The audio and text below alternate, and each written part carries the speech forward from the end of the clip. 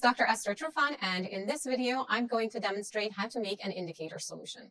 For this part of the experiment, we're going to need a couple items. First, a large beaker, and I would recommend going with a 600 milliliter beaker.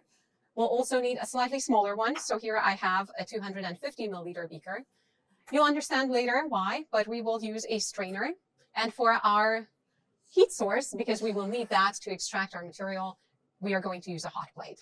For our chemicals, we're going to use some deionized water or distilled water if you are doing the experiment at home and red cabbage. And for the experiment today, we'll start here.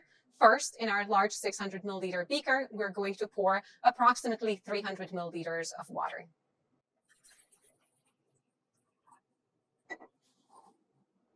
And this is approximately 300 milliliter. And then we place it on the hot plate, turn on the heating.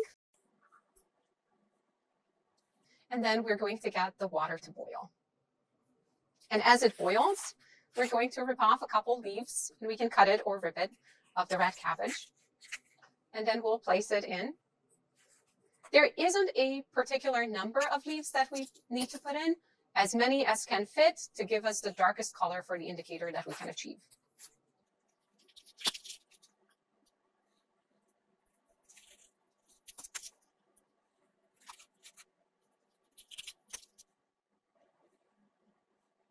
And then we just keep it boiling and we set our cabbage aside and our water aside.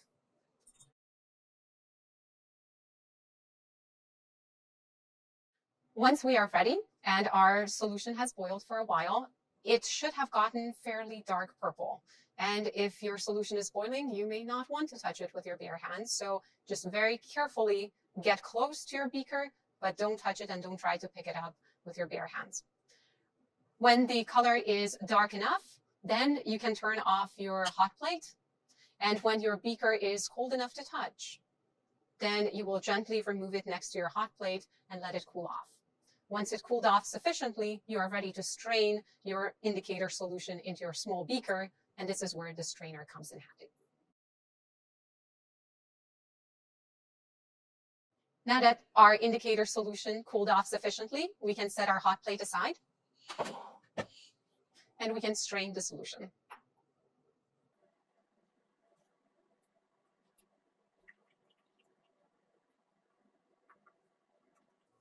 And with this, we have a sufficiently large amount of a red cabbage indicator solution. The rest we can contain and the red cabbage we can discard in the trash.